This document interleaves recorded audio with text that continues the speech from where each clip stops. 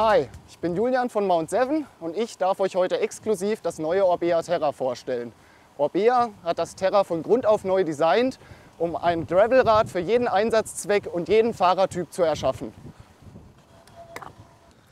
Was Neues ist zum einen der deutlich flachere Lenkwinkel in Kombination mit einer deutlich längeren Gabel, was dazu führt, dass das Vorderrad extrem ruhig läuft und auch bei hohen Geschwindigkeiten und auch im technischen Terrain das Fahrrad immer unter Kontrolle bleibt und sehr gut zu handeln ist. Außerdem, was neu dazugekommen ist, ist der verlängerte Reach in Kombination mit einem kürzeren Vorbau, was der Laufruhe und der Stabilität auch wieder in technischem Terrain auch sehr zugute kommt. Des Weiteren ist die Kettenstrebe auf 420 mm angewachsen, sowie dass Orbea dem Terra jetzt auch eine Storage Box noch ähm, spendiert hat.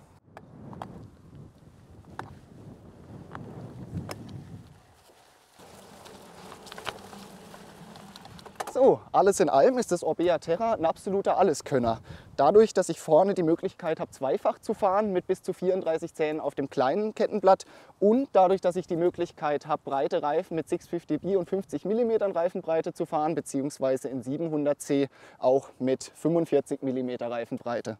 Zusätzlich hat das Rad zwei Aufnahmepunkte für Flaschenhalter und zusätzlich auch noch die Möglichkeit, Schutzbleche vorne wie hinten zu montieren, falls das Rad zum Commuten oder zum ähm, Pendeln genutzt werden sollte.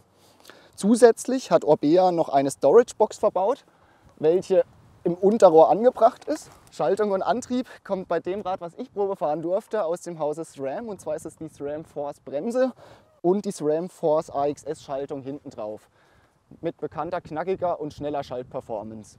Also, ich durfte das Rad die letzten Tage jetzt immer und um Freiburg schon mal ein bisschen Probe fahren und für euch testen.